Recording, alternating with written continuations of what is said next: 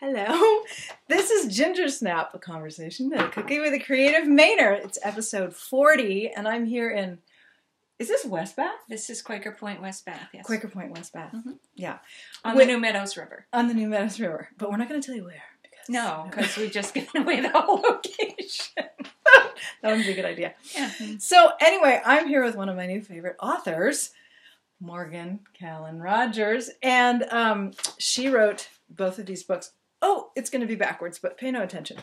And see, I still have my bookmark because I'm not quite done with this one. I'm almost done. These are beautiful books, and I love them, and I recommend them. Thank you, Elizabeth Ross Holmstrom, for introducing me to these books. Yes, definitely. Thank you, Elizabeth Ross Holmstrom, Yeah. for introducing these books. So, Um, these have gotten incredible reviews, and they're beautiful books and beautiful stories, and they put you in a really specific place, which I really, really love. Mhm. Um, so you just had a recent reading in Bath. I did. Yes. Yes, I did. Yeah. Uh, at the Mustard Seed. Uh, it was. Uh, it's funny reading in a place where you were brought up because there were just places. You know, like I could point to the first row and say family, studio theater, Bath, Morse High School, hmm ex boyfriend, Stalker. No. stalker. Yeah. Oh, that's sort of fun. Where's your next one? Actually, it's in Bath. It's at the Patten Free Library. Okay. Mhm. So more of your friends and Next and Tuesday. will Next Tuesday. Patten Free Library. If you missed me at the Mustard Seed, I'd love to see you at the Patten Free Library. All right. Mhm. Good. Yeah. Okay. Well, so what is your? Well, they'll find out um, about you if they if they come to a reading too. But your Maine, your love story with Maine, Mhm. that began along. That began when. I was a kid. well, when I was a kid, and um, actually, this place we're at right now was a place to imagine and to have fantasies and just to sort of roam through the woods and Mm-hmm. go down by the water and just sort of absorb without really knowing Mm-hmm. you're absorbing. And uh, so I we had Irish setters back then, Mm. and we just used to walk everywhere, you know. And uh, I would just be in another world. And uh, I started Mm. writing about horses when I was eight on this porch, and yeah, Wow. and I went to rock stars. And then it So- You can't tell, but the water is right out there, and It's we're right sitting um, cozy next to um, a big record collection. You know, I used to have 300 albums, LPs. For you Oh, wow. young people, that's an LP. They're gone now, but anyway, I, lo- I feel Actually, very- vinyl's coming back. Vinyl is kind of coming back. I feel very comforted being surrounded by by albums. I do too. Yeah. I do too. So, do you think you're in Maine to stay? This is this is your home base now. This is where my family is. Yeah. You know, my Mhm. sister, my parents, um, my brother when he comes back, um, Mhm. my cousins, a lot of my cousins. Mhm. Yeah, I mean, it's I'm a Mainer. Yeah. No matter where I go, I'm always going to be a Mainer. I'm always going to come back and hmm Do you suck in when you say? My grandmother did. She went, get sucked in. No. you know the yeah. Well, I heard that was a, that was actually that that It came is, to yeah, Maine yeah, yeah. because a lot of a lot of Mainers do that, you know, and she did that, and that I, I heard it sort of came from a Swedish or Norwegian um, origin. Really? Yeah. Well, we're Irish, so we didn't say that. Right. We didn't I'm do that. Irish, We just kind of went, you know, like, yep. just shrugged your shoulders. Yeah. Yeah. Or if you're my father's family, you'd go. You'd shake first and then nod and then. You know, just sort of, and the lips, you got to purse the lips. Mhm. So, Good. That's Yeah. great. All right. Well, uh, do you know your first word? mama. Mama. Mhm. Yeah. That's a good I used to stand word. in my crib and say, mama. I was a very good baby. I bet you were. I was an incredibly good baby. And then my sister came along, Uh oh. and my sister was not a good baby. So it was a good thing that I was. Is your sister listening? Yes, I hope so. She her- knows. what's her name? She's proud of it. What are your sisters' names? My sister, I have one sister. Her name is uh, Mary. Mary. And um, if you know me at all, you probably know who Mary is. Mm-hmm. She's Mhm. uh, she's the opposite of me, but she's uh, she's kind of uh, a life force, which is Mm. what I wrote about in these Mm. books. These are people who are in life. Yeah, I want. Yeah. Whereas as a writer, I'm Mhm. often um, traveling, time traveling, or I'm Mhm. in other worlds, and Mm. you know. So to come back to this world and watch somebody actually function in the real Mhm. world Mm-hmm. and take it, you know, seriously and do it well, Mm-hmm. I admire that. Yeah. And my sister's one of those. Mm. Well, your character Grand really, uh, really reminds me. Not, I I mean, not in every way, but my grandmother, Honey, Everyone, Aw, everyone called her. Honey. Yeah. and she really she was such a strong presence and such a you know she was she lived to be 105 which is crazy and Wow. but she had she had very strong a very strong personality and a very strong presence but also just a real sweetness um, in the world and uh, anyway when I when I'm reading your books and and grand I also just love that the, the name for Yeah. for a character Uh-huh. I you know I have honey sort of Aw, there in my that's mind, So great. Yeah. I'm glad I could remind you of something Yeah. really lovely. Yeah, Yeah. absolutely. So cookie was my first word. so we're gonna Seriously, was it? Yeah. I looked at my baby book and I saw Cookie? cookie. okay, so these are the chocolate. Please. Oh, thank Um, you. Yes, we're going to. Uh, hmm Oh, I'm going to enjoy. hmm hmm This is the part where we make noises. This'll do. Mm-hmm. Mm-hmm. How long do we get to sit here and eat them? Well, I can. I'll start talking again as soon as I. Mm. hmm So These are great. These are from the Union Street Cafe. I, I said it wrong again. The Union Street Bakery and Cake Shop. It's new-ish, and um, yeah. So thank you for these. Where is this in Brunswick? Mm-hmm. Mhm. Up on Union Street. This is a Mm. really good cookie. This Mm, is it's how a chocolate chip cookie should be. It's Mhm. soft and Mhm. chewy and very chocolatey. melt in Mhm. your mouth cookie. Mm-hmm. It's good stuff. All right. So thank you for that. So Morgan, when you were a kid, did you guys have a car that you really loved, and if you could get back, you would? Um, we had cars.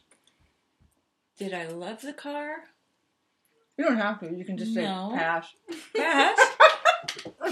That's interesting. We had a we had a station wagon we used to stick my youngest brother in the back seat, where you know we'd have to smack him around, make sure he wasn't dying of fumes. He'd stagger Right. out wherever we came to. you know, but we had something called the blue car. It was a very old 1940s car. hmm It was big and blue, and um, I remember uh, us trying to get up a hill in this blue car, and it wasn't going. And my I remember my brother standing in the back seat. We're never gonna make it, as if that's where we were gonna be for the rest of our lives. You know. Stuck on a hill in the blue car. Mm-hmm. Mm. Yeah, blue car. Yeah. So Mm. So, as an author, you must be a voracious reader. yep, Yeah. I am voracious. I'm a voracious cookie. I know I shouldn't assume that, but I'm just thinking. um, is there a book? Um, well, you can because you're an author. You can a- answer this however you want. But um, is there a book that you have read again and again in your life? Are there books you you recommended recently? Just you know. I would. Uh, I've read uh, a prayer for Owen Meany Mm, by John Irving Mhm. twice. that's a great Um, book. I really like John Irving a lot because he knows how to take huge, life changing moments and crystallize them into these little tiny seconds.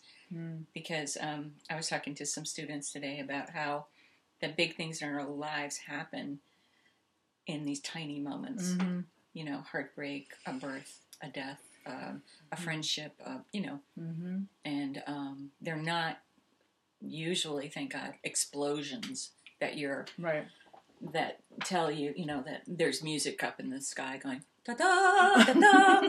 It's like Clouds don't always part. no, they do not. It's usually these little tiny moments, and Yeah. he's so good at that. You just kind Mhm. of like twist your emotions. I Mhm. like that about him. Um, hmm. I liked Lord of the Rings when I Mhm. was young. Although Mhm. you know, having read it as an adult, I still love it. But there weren't enough parts for girls in, the, Mhm. in his books. no. you know. But I, I always wanted to be an elf. So. I don't think I would have been an elf though. Mhm. You know, I would have been probably a ranger, not a hobbit. Not not a hobbit. No, Just hobbit. if you're making notes out there about Morgan, not a hobbit. you, you know, if you're gonna put me in this book, I want to be a ranger. Okay, that's good to know. Yeah. All right, since we're sitting by music, and I mean, I asked this anyway, but is there a song or an album that you that or a couple that you have listened to again and again in your life that you? All the time. Yeah. Um, when I was a teenager, The Who Hmm. put out an album called Sell Out, and it was uh, it had uh, I Can See for Miles on it. Mm-hmm. Um, it had um, a song called um, oh Boris the Spider. It was this it was this compilation of weird songs. It was supposed to be partly BBC radio commercials and these songs, Hmm. and uh, I listened to that until I wore it out. Uh, it saved my life as a teenager. It was just so Wow. awesome. I love the Who. hmm Um, now, now I keep playing Uptown Funk. Oh, it's not very, it's not very uh, heady, but you know, it gets me from one place to another. That's good. Yeah. So, Cool. yeah, it's not. but I also listen to Peter Gabriel, and you Mm. know, um, I listen to Alt Nation a lot, so I get a lot of my music from there now. hmm Um, yeah, I Mm. listen to everything. I love music. Mm. Mhm. And you sing a bit- a bit. I I, just it, yeah. found out. Mm-hmm. Yep, I Cool. do. Yep, I sing some jazz with a friend of mine, Frank.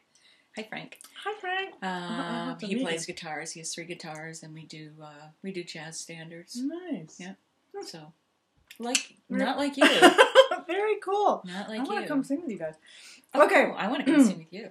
All right, it's a date. Okay. Um, I'll have my agent call your agent. If I had one, you have one. I don't. Um, Well, she, yeah, I'll just call you. my cat. Call my I'll cat. call your kitty. Yeah, she's. Um, okay, Morgan. If a movie was made about your life, what genre would it be, and who would you like to have star as you? It would be a romantic comedy. And um, you asked me this question before, and I said Judi Dench, but now I want somebody. You can trade it up. I can I trade it up? Um, probably. Uh, oh, what's her name? Melissa McCarthy. Melissa McCarthy. yeah, Oh my gosh, she is so funny. yeah, she's Wow. a riot. Yeah. she's a riot. Mhm. Or a funny lady. It would be a funny Mhm. lady with Mhm. sort of a tragic bent. That should be hard to locate. yeah, yeah. There are a lot of. Uh, remember Bridesmaids? Oh yeah. Yeah, that kind of genre. Mm-hmm. Where you know the, the I female I lead want to see that movie. yeah. You Mhm. gotta. You haven't seen that movie? No, I meant the one with you in it. Oh, the one with yeah. Of course, I've seen Bridesmaids three times. Yeah, right. It's a great movie. it is. It's Uh-huh. so funny. Yeah. All right, tell them out there in ether land, um, internet land, your website. Oh, you know. www.morgancallanrogers.com. Imagine It's that. my website. Mhm. It has events uh, and trying to put more reviews up on it. Mhm. Um, hopefully, I can somehow, you know, have this lovely interview on it at some point. Oh, yeah. But yeah, For sure. so that's where it is. Yeah. So I again. Now here's what happened to me. Elizabeth told me about these books, Mm-hmm. and now I have them. But I didn't realize when I I just you know started reading one of them and didn't realize they were sort of in order. Um. So, but I kind of like that I went. I'm going backwards. Oh, you is- did? Yeah, I did. good. That works Read too, it- then. huh? Yeah, I read this Oh, first, good. and then I read. Well, I'm finishing reading this one. This is my my bookmark. Mhm. Um. Anyway, I recommend. It's really lovely. And as summer's coming up, ooh, these are particularly kind of Oh, nice summer. These are so summer books. Mm. If you are coming to Mm. Maine, Oh yeah, yeah I yeah. highly recommend these Books. So tourists books or Maine visitors, if you want to Maine, anyone, really, I highly recommend them. Me Not too, because yeah. I just I wrote them, but they really are great books. Yeah, they're great. and they're books. very Maine books. Yeah. you, you know, Mhm. I worked very hard at that Yeah, to make them Maine books. they're, so they're very. it's a lot of books. humor and a lot of heart.